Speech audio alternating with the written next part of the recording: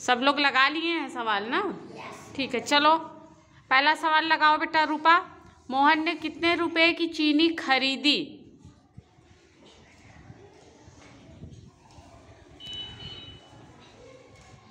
आप सवाल लगा के तब लिखिए। क्या लिख रही हैं? हाँ पहले सवाल को लगाइए। हाँ। चालीस गुड़े पाँच। चालीस रुपये के हिसाब से कितनी चीनी लिया था? कितने किलो? पाँच किलो। लिया था। तो उसके लिए हमें पाँच किलो का जब दाम निकालना होगा तो हमें चालीस में क्या करना होगा? पाँच से? सब लोग ध्यान से देखो। तो आपको जो भी गुड़ा करने पे मिलेगा उतने की ही चीनी किसने खरीदी? मोहन ने। मोहन ने। तो आप उत्तर लिखेंगे मोहन ने चार पच्चे बीस, यानी दो सौ रुपये की क्या खरीदी? चीनी। रूपा के लिए ताली बजाइए। बहुत अच्छा सवाल गुड। अब दूसरा सवाल है, मोहन को कितने रुपए कम मिले? ठीक है? अश्वनी, आपको समझ में आ रहा है दूसरा वाला सवाल? कितने रुपए कम मिले? चलिए लगाइए। रूपा को लगा लेने दीजिए उसके बाद। हाँ। मोहन ने हाँ। साइड हो जाओ रूपा बेटा। खरीदी थी। गुड वेरी गुड मोहन ने दो सौ रुपये की चीनी खरीदी थी। बहुत अच्छा उत्तर लिखा रूपा ने। गुड चलो अश्वनी, दूसरा सवाल बेटा लगाओ। मोहन को कितने रुपए कम मिले? तो आप कैसे लगाएँगे इसको? लगाइए। सवाल को नीचे लगाइए। कितने रुपए कम मिले? उसके लिए आप क्या करेंगे? पहले टोटल कितने रुपए उसके पास थे?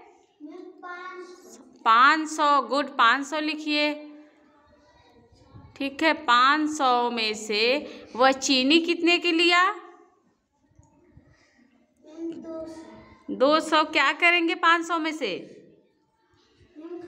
घटा देंगे। गुड। घटा दीजिए, जितना आ रहा फिर मुझे बताइए कि कितना बच रहा है।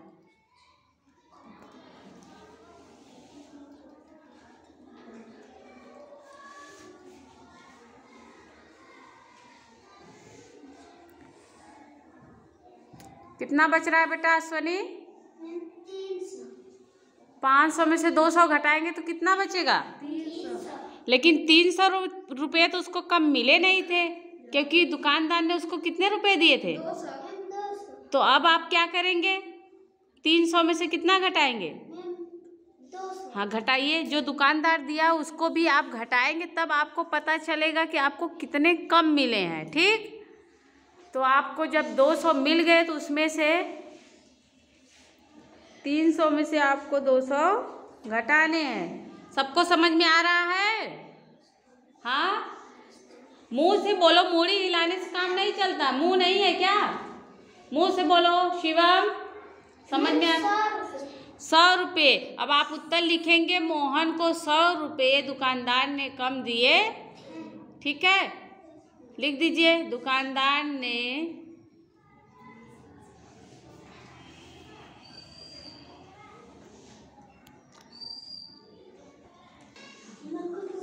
हो गया सोनी बेटा। दुकानदार ने साइड हो जाओ, दिया। हाँ गुड दुकानदार ने मोहन को सौ रुपया कम दिया। गुड चलो नेक्स्ट सवाल है। दुकानदार को मोहन, अश्वनी के लिए भी ताली बजा दो। ताली तेज से बजाओ ताली भी नहीं बज रही है। हाँ गुड। मैं दुकानदार को मोहन को कितने रुपए देने चाहिए थे? हम्म मैं पाँच सौ में से दो सौ घटा दूँगी। क्यों दो सौ घटाएँगे आप? मैम क्योंकि मैम दो सौ का वह क्या लिया था? चीनी। चीनी लिया था ठीक।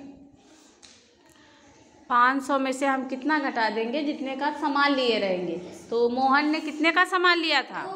दो सौ दो सौ घटा देंगे। तो आपको कितने मिले? अब उत्तर आप कैसे लिखेंगे इसका? दुकानदार को मोहन को तीन सौ रुपये पूरे देने चाहिए थे। पूरे देने चाहिए थे वेरी गुड शाबाश। देव के लिए भी ताली बजा दो। लिख लो लिख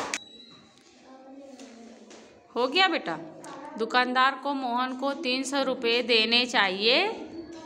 ठीक? समझ में आया देव? चलो देव के लिए भी क्लैपिंग करो। तेज से। अब बाकी जिसको नहीं आ रहा था, वह इसको नोट कर लेंगे, ठीक है?